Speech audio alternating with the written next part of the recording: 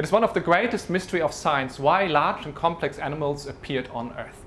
700 million years ago, there was a dramatic event, a so-called snowball Earth event. Earth was frozen over for 50 million years, and even at the equator, the ocean was frozen two kilometers deep. Huge glaciers ground entire mountainsides to powder, releasing nutrients. And when the snowball melted, these nutrients were moved with the meltwater into the ocean, creating an overkill of nutrients that changed Earth's ecosystems forever.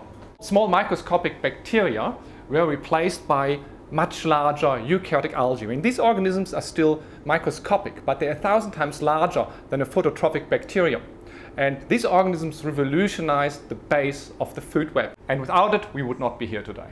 To solve this mystery, we took ancient sedimentary rocks, we crushed them to powder, and we extracted molecules from them from ancient microorganisms. As an organic geochemist, part of my role was looking at these rocks from Central Australia and just removing the contaminants and looking at the real ancient molecules and finding out what that tells us about ancient life. These large creatures created the burst of energy that is needed for complex ecosystems out of which then animals can evolve. It was a revolution of ecosystems, it was the rise of algae.